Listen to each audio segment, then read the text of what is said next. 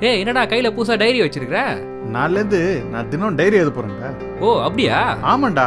ஒரு முப்பது நாற்பது வருஷம் கழிச்சு நான் எழுதுன எல்லாத்தையும் சேர்த்து ஒரு புக்கா போட போறேன். ஏய் ஆல் தி பெஸ்டா தேங்க்ஸ்ரா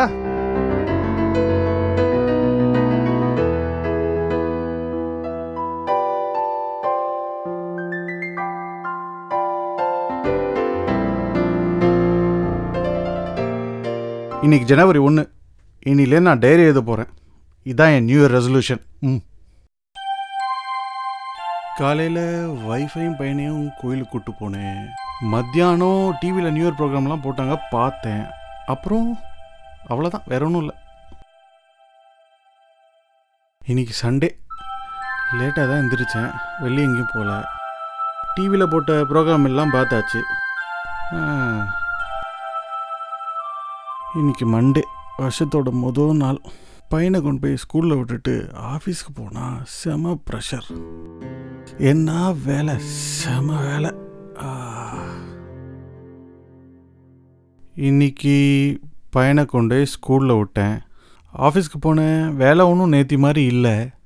ஆனால் இந்த பக்கத்தில் சோடு என்னை ரொம்ப இன்சல்ட் பண்ணுற மாதிரி பேசிட்டான். ரொம்ப கடுப்பேற்றிட்டான் அவனை நாளைக்கு மேனேஜர்கிட்ட எப்படியாவது போட்டு கொடுத்துடணும். இல்லைனா அவ்வளோதான் இன்றைக்கும் பையனை கொண்டு போய் ஸ்கூலில் விட்டாச்சு. அப்புறம் ஆஃபீஸ் போனோம். அந்த சோனு பையனை மாட்டி விட்டோம்.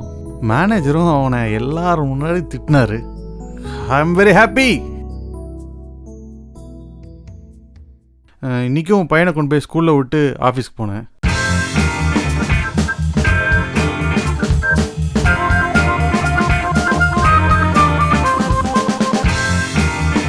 காலையில் இட்லி. மத்தியானம் பிரியாணி நைட்டு சப்பாத்தி தால். ஐயோ நம்ம டைரி எது மறந்துட்டோமே. பரவாயில்ல நாளைக்கு சேர்த்து எழுதிக்கலாம்.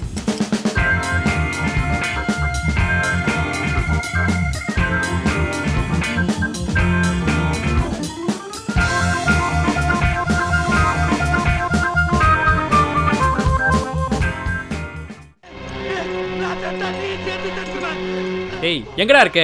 டேய் அங்கே தான்டா இருக்கோம். தேடி பாடுறா டேய் காரண்டா அப்பையிலே தேடிட்டு இருக்கேன் நல்லா பாடுறா கிளைமேக்ஸ் ஓடிக்கிட்டு இருக்கு. நீ வேற நடு நடு பேசி டிஸ்டர்ப் பண்ணிட்டு இருக்கிற.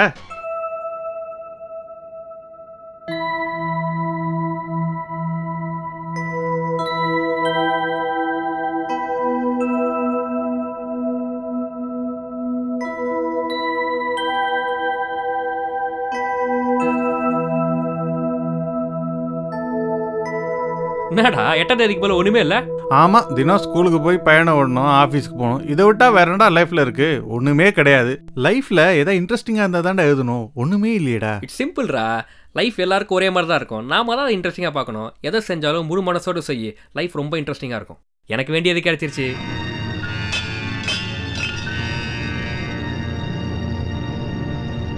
பிறர் வாடப் பல செயல்கள் செய்து நரை கூடிக் கிழப் பருவமெய்தி கொடுங்கூற்றுக்கிற எனப் பின்மாயும் பல வேடிக்கை மனிதரைப் போலே. நான் வீழ்வேன் என்று நினைத்தாயோ?